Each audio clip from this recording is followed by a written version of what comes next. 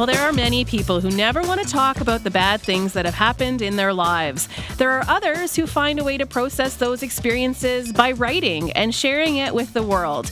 It requires an incredible amount of vulnerability, but it's often those songs, poems, and stories that have the greatest impact on other people.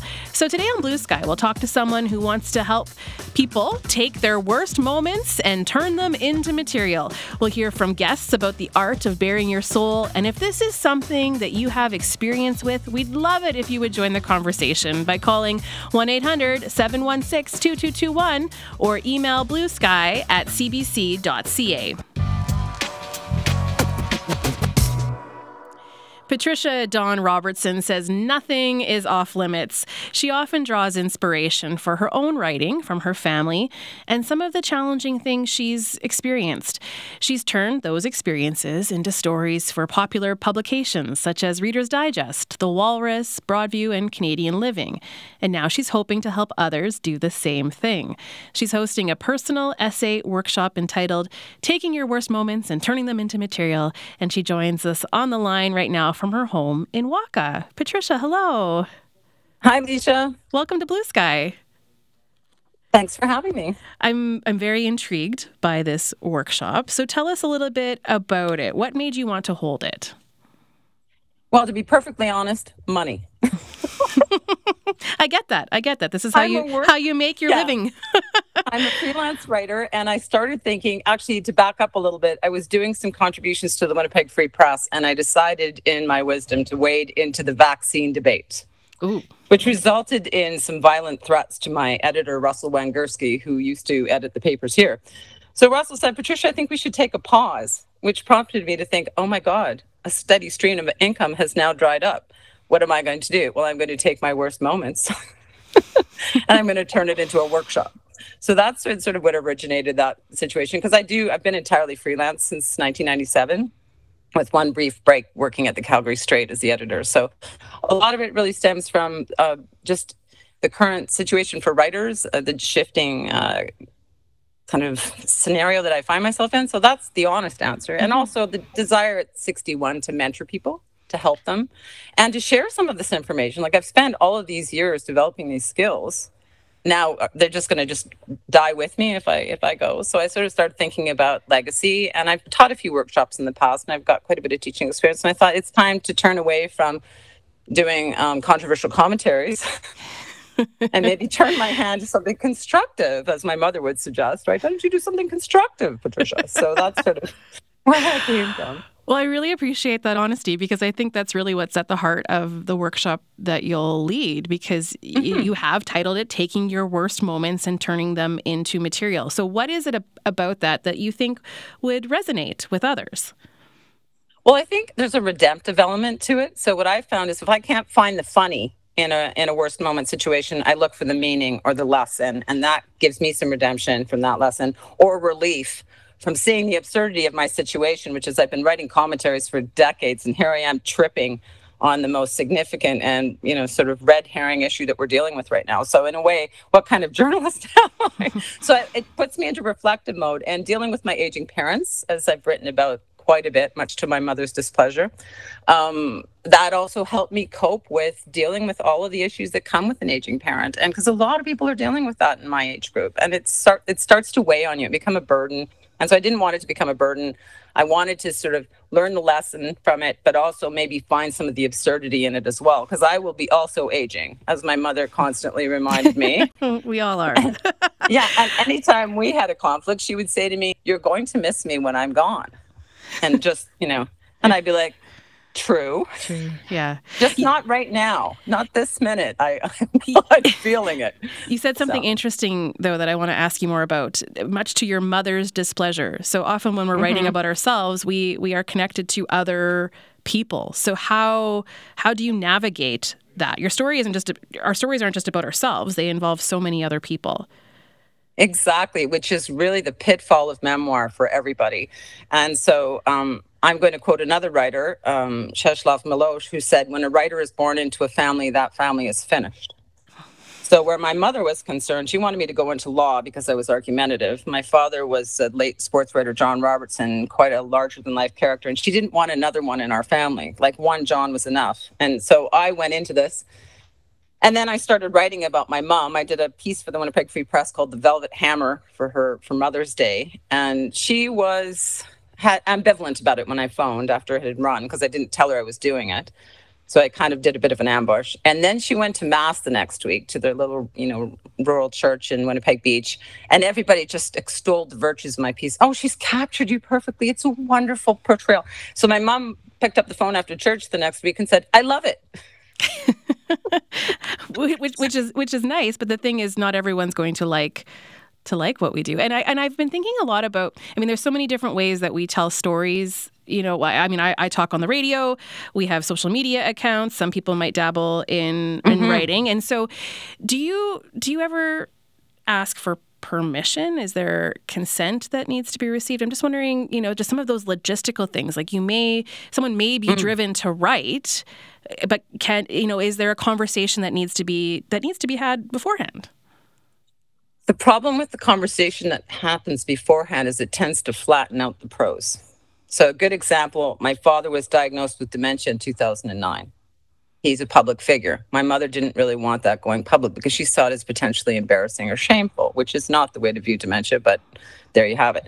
So I started writing about it. Um, I started a book called Media Brat, a memoir that's forthcoming in May, and I started writing down the stories.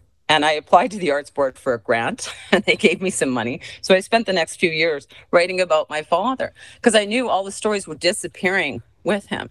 So if I'd asked their permission, my dad would have said, because he always did, write whatever you want, because he did that to me as mm-hmm. a child. And my mom would have been, what will people think? So if I had my mom on my shoulder when I was working on that memoir, what will people think would have been in the for in the in the you know in the foreground all the time, and I would have censored myself. And so mm-hmm. all of the good stories, the stories that people want to hear, would have been turned into a PR exercise talking about all the good things that dad did and what a wonderful father he was. And then it sort of just turns into a brochure. And so I knew I could, and of course, they're both dead now. So that takes a lot of the pressure off me because you can't libel the dead. But you are right, Leisha, you have to be concerned about which territory you go into with people, especially if you're going into delicate material that could potentially really damage somebody's reputation. Like a lot of trauma memoir goes into those categories. And you need to have a publisher to work with and an editor to work with who are going to take you out of the gutter if you jump into that. And you're also going to need to maybe have a lawyer look at it too, just to say, yeah. have I gone too far? Yeah. Does this disparage this person? Does it humiliate them? Will it uh, hurt their opportunity to get future work? You know, because you're right, you are wielding a fairly you're wielding a fairly big hammer when you do memoir. So because I've been a writer for so many years, I innately kind of understand from doing all the commentaries I've done when I'm um, reaching the point that I've gone too far.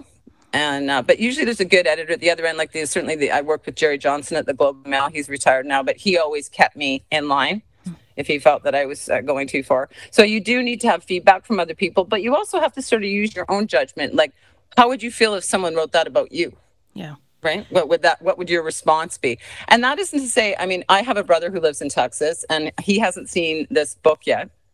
And so my next task now, you know, at the end of the week will be to text him, "Hey Tim, guess what?"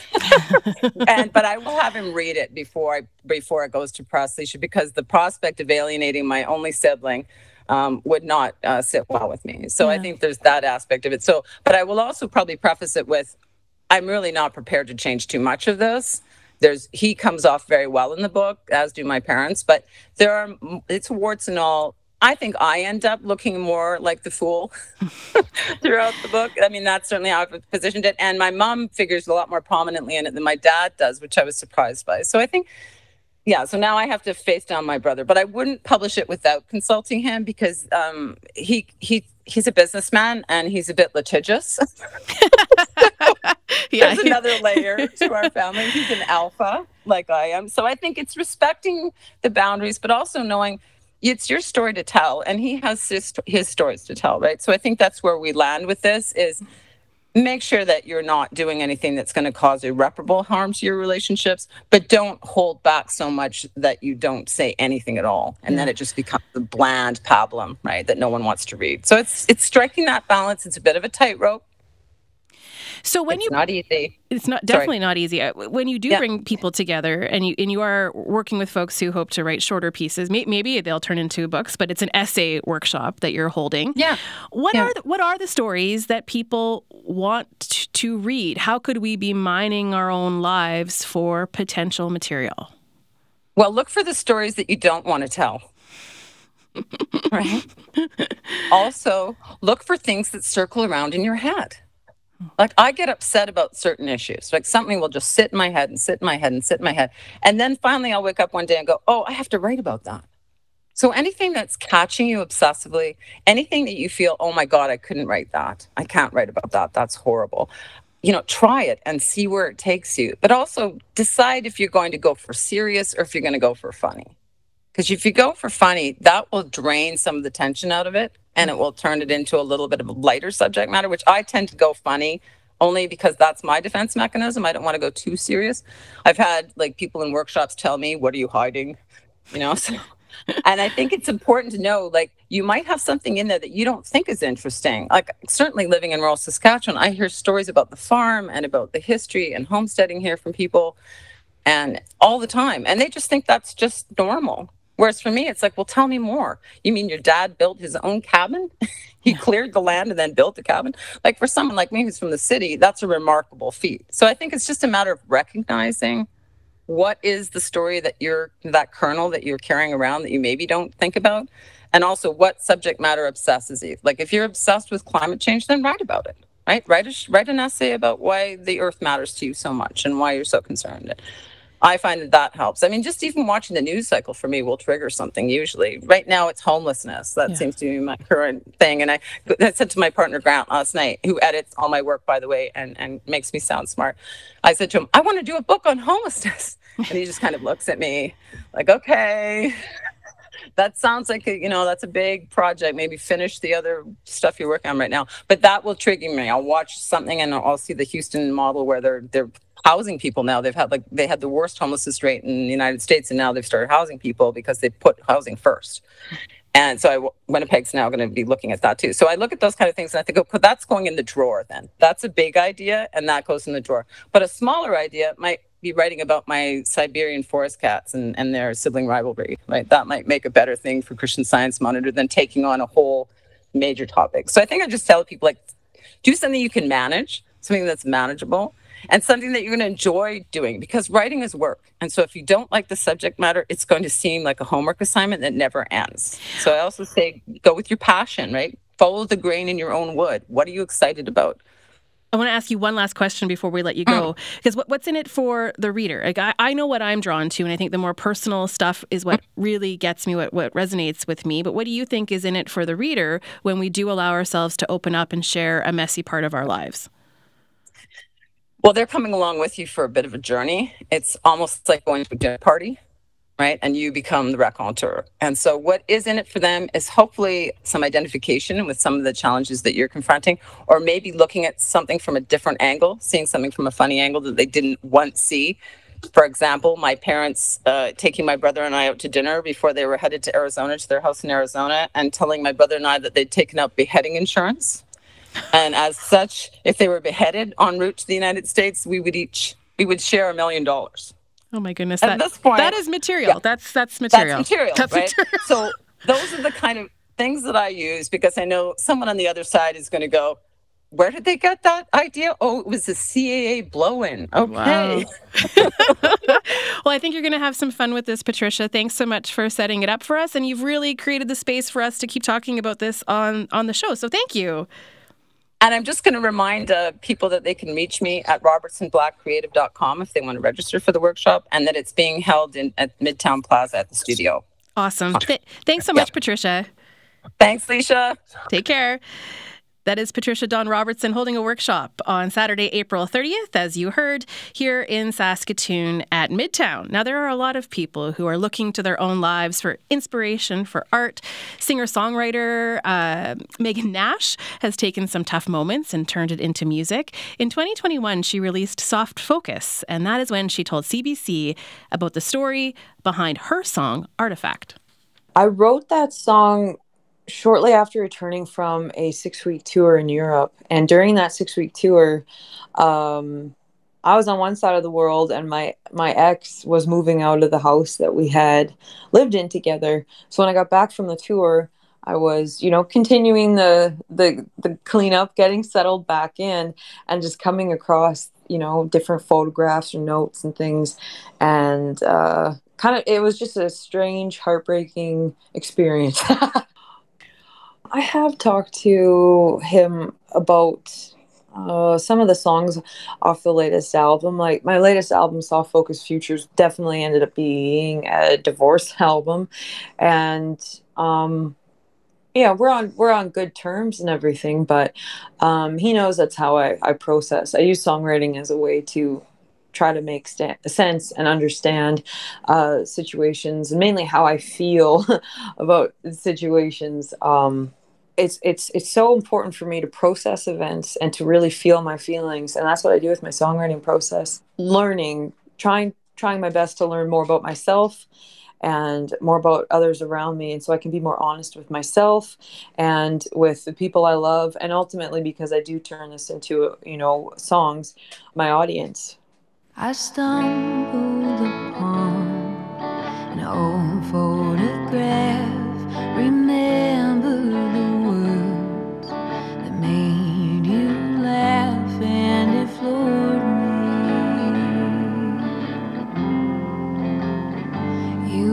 door.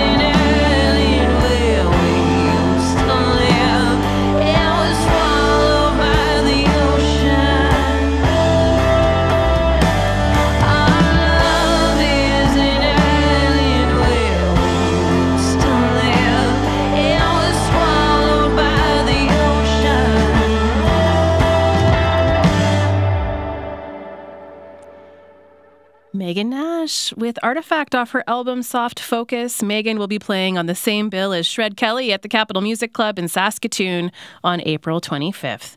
I'm Leisha Grebinski. This is Blue Sky, and today we're talking about using material from your life for your writing, for poetry, for songs, for your art. It does require an incredible amount of vulnerability, and there are those who find a way to process those experiences by writing and sharing it with the world. And so if you have some experience with this, we'd love it if you would join the conversation by calling 1 800 716 2221. You can also email bluesky at cbc.ca.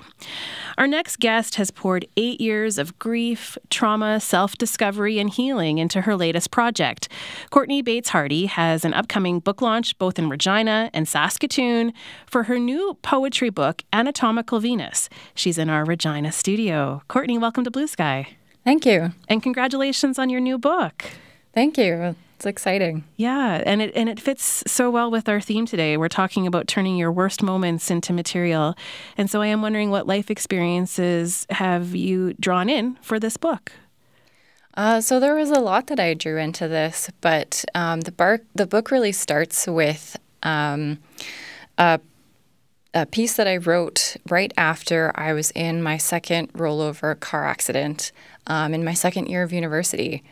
And that piece really kind of opens up the whole book and um, the sort of journey that I've been on since those accidents um, caused uh, nerve pain to my or nerve damage to my neck. So I experienced chronic nerve pain um, as a result of those accidents.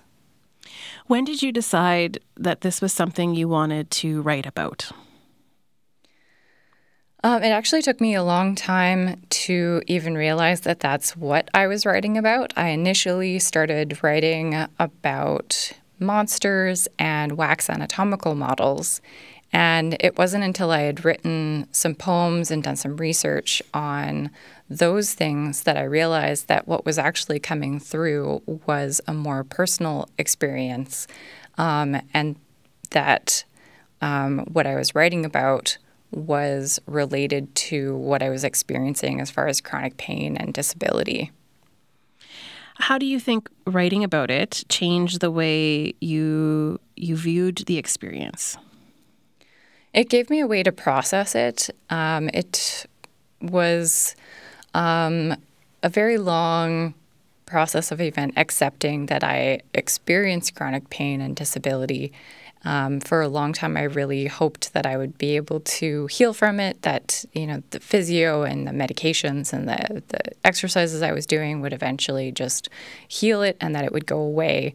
And that was not the case. And so, in writing about it, that was my process of accepting it and grieving um, who I thought I was going to be, or um, that I would not experience this pain anymore. Yeah. Can you tell me if you're comfortable just a little bit more about what it is like to live live with chronic pain and just how how much this accident changed your life? Are you able to give us a sense of what it is you you deal with? I think a lot of people wouldn't realize that um, I experience chronic pain because I do hide it, um, and most of the time, um, I am you know, fully functional. I work a full time job. I um, have my writing that I do as well. I exercise. I do a lot of the same things that anyone else would do, but um, I have to be much more careful than most people. There are a lot more things that will cause more pain or will mean that I will need to take more of a rest um, or that simply it's just harder to pay attention when you're in pain and um, need to be in a certain situation, like at work or at an event, um, and you can't change that. So, writing about it makes it more visible. It definitely does, because um, it's it's not something that I talk a lot about in my day to day life. So this book is really kind of taking that out to the public and going, yeah, this is this is what I experience, and you might not know this about me. Does that make you feel pretty vulnerable? Absolutely. It's a very vulnerable experience um, because I spend a lot of time trying to just do what um, everyone else does. Does it also give you a bit more agency over your own story, the act of writing about it? Yeah, it was an opportunity to tell my story from my own perspective um, and not how other people see me.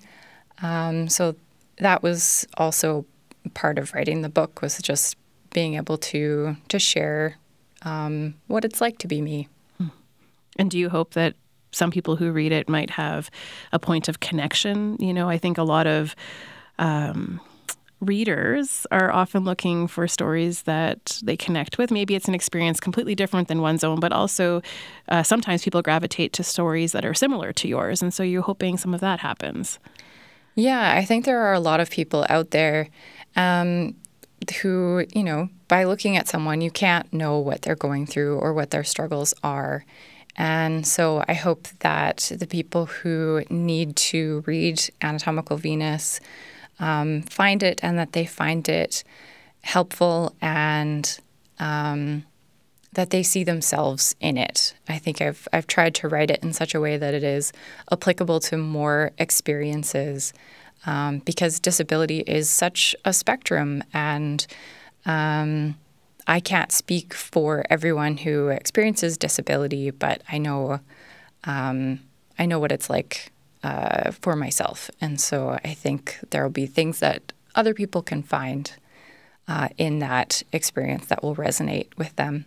How much do you think you changed through the whole writing process and all the reflection and processing that you've been able to do through this work? Do you feel different today than when you first started the project? Yeah, I mean, it took eight years. So I am a very different person now than I was eight years ago. And that's just the nature of um, life that uh, over time we, we change and we have to adjust to that. I'm interested in knowing a little bit more about some of your other writing because you I understand that you write about family members. Um, I'm wondering if you can talk a little bit about that and how you weave in stories of others into the into the writing that you're doing. Yeah, so mainly with this book, I wrote about my mom and my nana because they um, both experience chronic pain and have had struggles with different illnesses and chronic pain as well. And so it was important for me to write about them and to kind of honor their struggles that came before mine and um, what I saw them go through. Is the experience different writing about yourself versus writing about the moments that involve others? I'm just curious about that. If one is harder than the other, or if there's any kind of different thinking that goes into the different types of stories that you're telling. That's a good question. Um, I don't know that it's different so much because often I'm still writing from my own perspective. I can't know what it's like uh, for them. And so I'm only writing about what I saw um, and from my own perspective of, of what, um, what they were going through mm-hmm. at the mm-hmm. time. Why was it important for you to share those snapshots from your perspective into moments uh, of your life with, with your mom and, and with your grandmother? I think it was important for me to be able to process that um, because it is very difficult to watch someone you love go through so much pain. And um, especially when a lot of those instances kind of happened when I was still fairly young. Um, so it was a way for me to process that myself and um, kind of come to terms with it. So you have two book launches coming up. Do you want to tell people a bit more about where and, and when people can buy your book? Sure. So uh, there's a launch coming up in Saskatoon next week, April 24th um, at the McNally Robinson Booksellers. And then uh, in Regina, it'll be April 30th at the Artesian, um, uh, 7 p.m.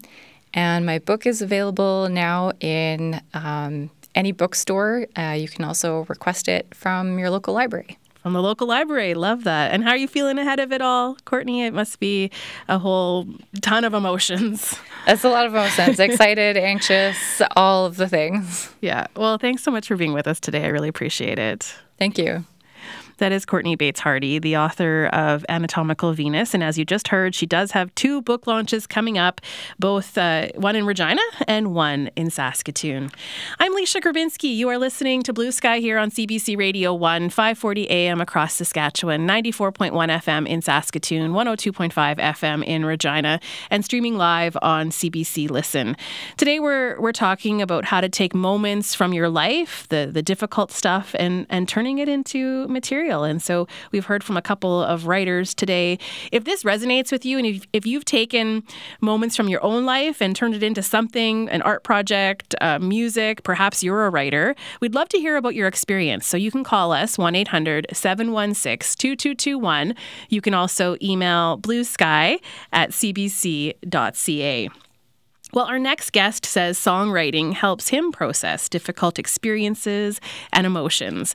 Marvin Chan is the founder and artistic director of Trifecta Sound Co., which won two Sask Music Industry Awards in December. He's played in a variety of bands, including Samurai Champs and Ghost Form, but his solo singer songwriter project is Merv XX Gotti, and he is in our Regina studio. Marvin, hello. Hey, what's up? Hey, so you've been listening along to the show. We've heard from a couple of other writers, people who write novels, essays, poetry. We heard from a songwriter earlier on the show too. And I'm wondering from those conversations, you know, has anything you've heard resonated with your own experience? Yeah, I love that writing can be a way to process, but also for me, it feels more like a way of integrating, I guess, because one thing I never really seem to resonate with other writers, I think, is I don't identify as a writer. I've always been a math person growing up. And even when I have friends in publishing or songwriting and they say, like, oh, I hope you write a book with your ideas and your adventures one day, I immediately say, I'm never going to do that. Because it writing ne- has never, ever made sense to me except in the context of songwriting. And even then, it still doesn't really. I feel like the words aren't really words, they're just sounds that come out of me. Oh my gosh, tell me more about that. And I'm fascinated by the fact that you would identify as a math person and yet you are writing music. So tell me a bit more about your process. Oh, yeah. My my first degree is in software engineering. And I originally went to engineering cuz I thought it was a way I could avoid writing for the rest of my life. And then when I realized lab reports were a thing, I decided against that too. But I think a lot of it was ever since I was young, I could only really remember thinking in patterns and numbers. And then the most painful part of school, I remember, would always be writing in a journal. I was like, why is someone making me do this? And then for a long time, I was um, working at a yoga studio here in Regina, the Bodhi Tree. And there's a lot of yoga books there. And then I remember reading a lot about Sanskrit and how a lot of the the way words are formed, it's actually quite closer to Cantonese, which is um, my my mom's mother tongue, mm-hmm. and how the syllables, how everything's pronounced, is supposed to make you feel the way it's intended for you to feel, as opposed to in English, you can say the same word very differently, and then it elicits a different feeling for someone, right? You can say the same word and make someone feel antagonized, but also feel loved, and then so I kind of took that idea from Sanskrit, I think, and then um, kind of also combined it because my other band, Samurai Champs, is with my best friend Savan. That's a, a hip hop and R and B project, which is very different than this. And Savan would always tell me, you know, we can't use what you can use. You can sing, but rappers can't do that. We don't have melody. All we can do is really pay attention to the way we say the word, and hopefully that conveys the emotion in a way that you convey emotion through melody. So taking those two ideas from hip hop and Sanskrit, I thought, okay, maybe this is a way I can write songs. So to me, all the words I write are just like texts. they're kind of just text or note app diary type things. I don't really think that much about like the literary, I guess, the, the literary aspects of it. I just try to hope the syllables feel and sound right, and then when I sing it, I see how that makes me feel. But then when I sing it, I also see how my engineer feels or how the audience seems to feel. And then when I see a certain reaction, like people see, seem comfortable or maybe they're about to fall asleep, which probably means they're relaxed, I'm like, okay, I think that's the word. That's very powerful stuff.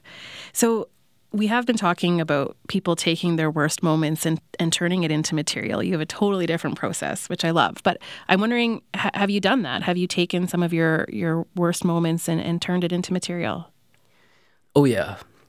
Yeah, of course. But I think in the way maybe people can process how they're feeling through words, it's strange because it doesn't seem like a a straightforward bridge like that to me. I guess a lot of the time I feel like the way I'm feeling is not actually feeling. It's stopped, almost like a mechanical system or something. And then the way other people describe it, you have to feel through it. That actually feels a lot more like a multi stage system to me. And so I think this might be from, I know this is really different now, but I grew up in a Cantonese household where conversations about mental health and mental illness weren't really a thing at all. Um, they just weren't really ideas that existed at the time. And again, it's super different now with, you know, everything being on Netflix now. But I don't think I had the internal vocabulary, emotional vocabulary, really, to be able to feel how I was feeling. And then the only way I could feel things, I think, even growing up, afterwards, after I learned how to play the guitar and actually write songs, was through writing the songs. But even then, when I was writing the songs, it never felt like writing. It always felt like this is the only way I'm actually able to feel something that's happening to me. And usually that stuff was heartbreak or despair or sometimes being happy, but it was the only way that really facilitated feeling, I think things that are hard to talk about. So do you do you ever worry about what your family will think when when you write about that tough stuff and and and um, and about mental health challenges? Um, I think I used to, and I don't really anymore. I've kind of just accepted it as that's just the way my mind and body seems to function, and I think they've learned to accept it also because they've they've seen the effects of it also. Like you can't you can't ignore like the visceral effects things are having when I I remember Samurai Champs got home from we've been basically touring straight for 2 years and my parents always knew like I I loved to work. Like I always loved working on my stuff even while I was in school. I loved working at my friend's Korean sushi restaurant. And for the first time in my life I couldn't work and they thought that was so strange. I just lied in bed. I couldn't even open my MacBook. The blue light from the MacBook screen would like make me panic. Mm. And again, there was no conversation about this kind of stuff, so I had no idea what was going on. And they they were like pretty freaked out too.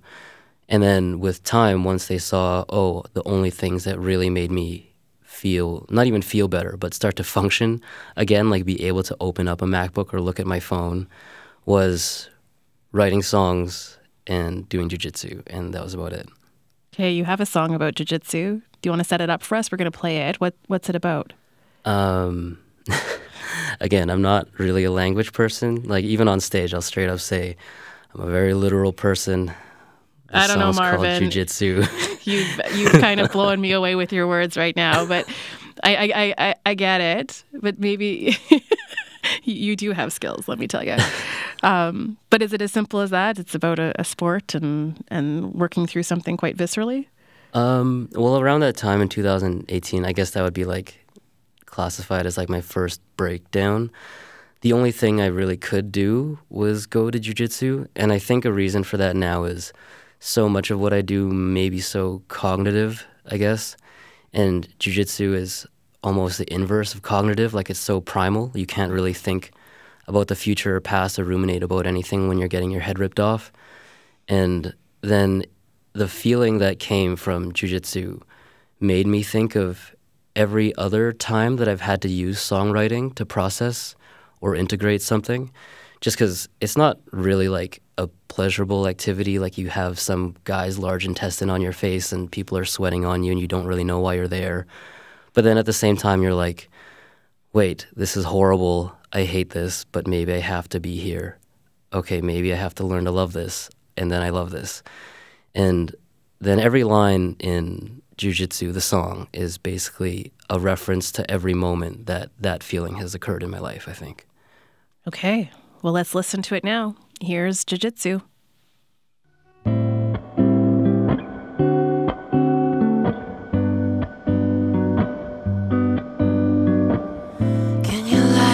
Cigarette? I'm too stressed out today. Will I die filled with regret? I'll think about that today. Pack my car and guitar, sing along to day you are in jujitsu. Wake up late, roller skate, stay with Tim in Silver Lake in jujitsu.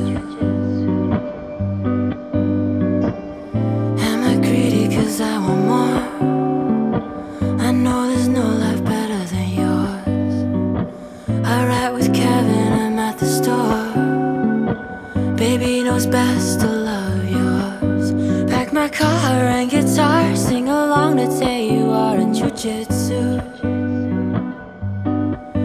Wake up late, roller skate, stay with Tim and Silver Lake in jujitsu.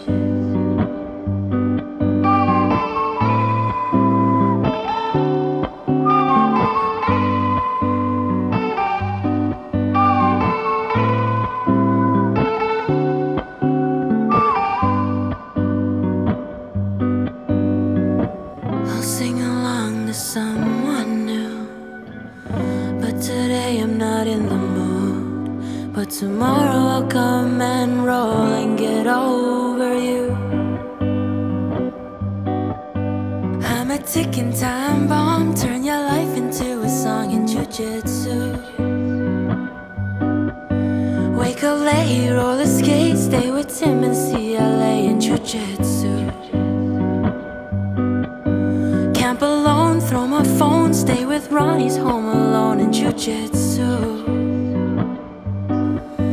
Take you out on a date and realize that I hate jujitsu.